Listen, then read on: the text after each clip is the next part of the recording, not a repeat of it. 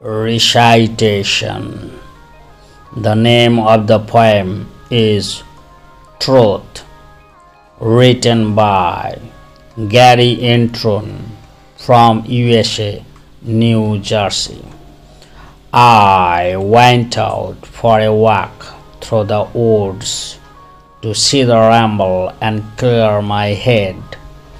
Off to the side, the old leaves crumbled to groan their chorus as I passed them by. I had little to say, but listening is a chorus more grand. Re-entry makes glad hands shake. I shouldn't be here if not for that.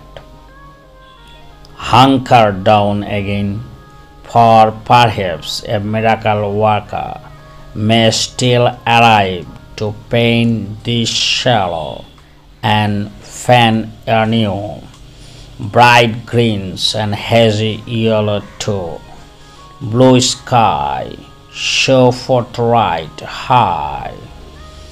Do you hold dear any other truths than these? And if so, are they just as true?